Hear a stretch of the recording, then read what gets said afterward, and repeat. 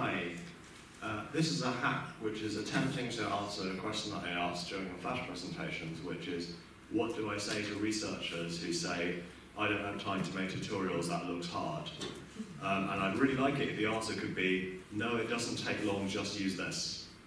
Um, so the, the particular features that would be nice to implement would be some way of capturing quickly running through your little command line tool because the target here is really is novices who make relatively simple tools at this stage.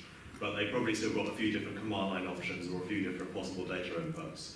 So have some way that they can sort of capture walking through that, turn that into some sort of relatively presentable document, uh, preferably have some sort of JavaScript styling niceties like code folding and being able to pull up more information contextually. Um, and then the other feature that's quite tricky for tutorials is keeping them in sync with your code. Uh, so providing some kind of little script or feature that can be hooked into your test suite that checks that if you actually follow the steps in the tutorial, you still get the same output with this version of the code.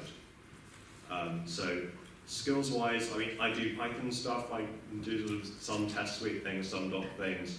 Um, I, I think this really does need someone that can do like a little bit of JavaScript, CSS, nothing super fancy, but that I think would be required. Um, other than that, a few people who are genuinely enthusiastic about making scripts and stuff would do.